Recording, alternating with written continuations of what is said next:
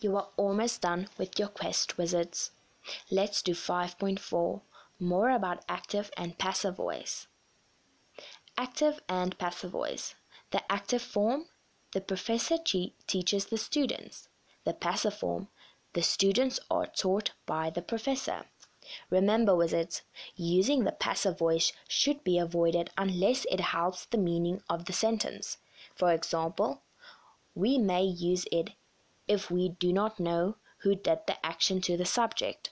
My cell phone was stolen out of my bag. We also use the passive voice if we want the emphasis on those who had the action done to them.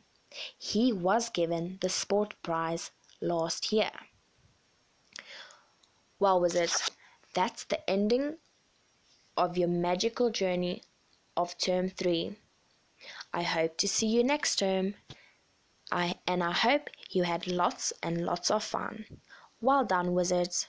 You did great.